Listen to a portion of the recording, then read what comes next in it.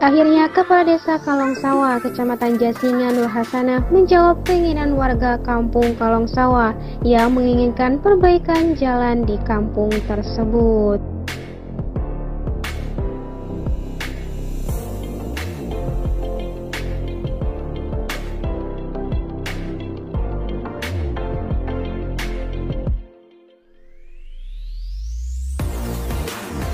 Rupanya perbaikan jalan di Kampung Kalong Sawah menggunakan anggaran dari APBD Kabupaten Bogor tahun 2022 melalui program 1 miliar satu desa atau Samisade.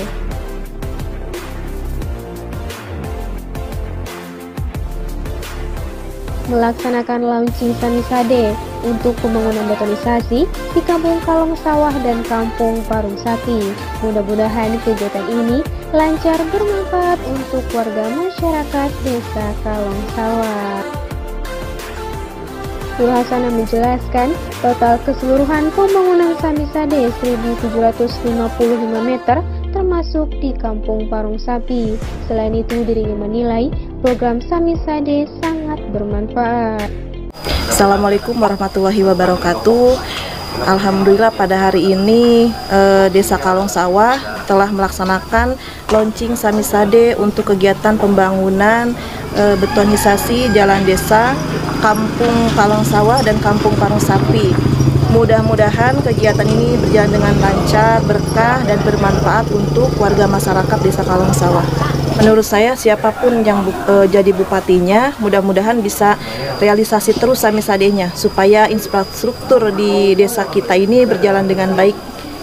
Harapan saya mudah-mudahan masyarakat bisa merasa e, puas atas e, kinerja pemerintahan Desa Kalong Sawah, pemerintahan kabupaten e, dan kami sangat senang sekali e, dengan adanya pembangunan ini.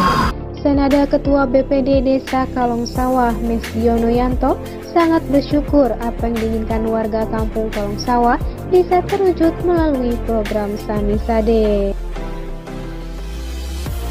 Alhamdulillah berarti kan sekarang program Samisade eh, terlaksana di tahun 2022 ini mudah-mudahan ini hasilnya nanti bisa dimanfaatkan oleh warga jalan menjadi bagus, ekonomi warga bisa terangkat dengan adanya jalan yang bagus, uh, terus anak-anak sekolah juga lebih uh, mudah kalau hujan gak becek, gitu ya.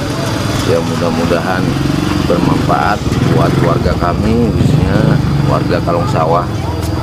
Ya makanya nanti kan pihak desa itu dan pihak pelaksana berkoordinasi dengan RT dan RW supaya dalam jangka waktu beberapa hari mungkin nggak bisa dipergunakan jalannya karena masih uh, nanti ditentukan dalam hari yang tertentu baru boleh dipergunakan karena memang ini de dekat dengan pemukiman warga gitu jadi pengawasannya harus ekstra ada dua titik kalong sawah dan parung sapi uh, seluas 1600 lebih ya. lebih 600 di sini 600 kurang lebih 600 meter 600 meter. Berarti dari dari ini ya, dari Gapura itu sampai ke ke dalam atau dari mana nih Mas? Iya, nanti sampai tembus ke itu Kalung Sari. Ke Kalung Sari ya? Iya. Ke jalan utama ya, Iya, nyebrang ke kampung Kalung Sari nanti. Terus ini kan dengan ketebalan 15 cm, lebar 2 meter setengah. Di tempat yang sama, staf ekonomi dan pembangunan Ekbang Kecamatan Jasinga, Denny berharap dengan sisa waktu dua bulan, setiap pelaksanaan Samisade bisa terkejar. Baik, eh, alhamdulillah bahwa untuk tahap satu desa Kalong Sawah itu sudah terrealisasi ya, tinggal pelaksanaan eh, ada dua lokasi. Yang pertama Kalong Sawah yang sekarang kita launching, yang kedua di Parung Sapi Kaum. E, dengan sisa waktu tinggal dua bulan mudah-mudahan ini bisa terkejar pak mudah-mudahan juga cuaca mendukung karena memang tidak boleh lebih dari bulan Desember ya mudah-mudahan bisa terrealisasi terlaksana semua untuk 16 desa e, untuk Samisade kan kita ada verifikasi awal. Eh, untuk penentuan lokasi kita survei apakah ini memang layak atau tidak. layak atau tidak dibutuhkan sama masyarakat atau tidak. Karena kan prinsipnya eh, apa kebutuhan bukan kepentingan. Kebetulan setelah kita survei dua lokasi ini memang sangat dibutuhkan oleh masyarakat. Mudah-mudahan semua desa bisa melaksanakan sesuai dengan aturan. Ya.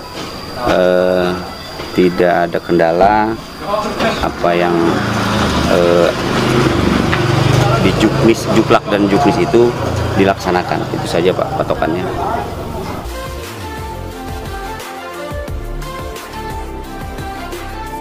Dari Desa Kalong Sawah, BBTV Channel melaporkan.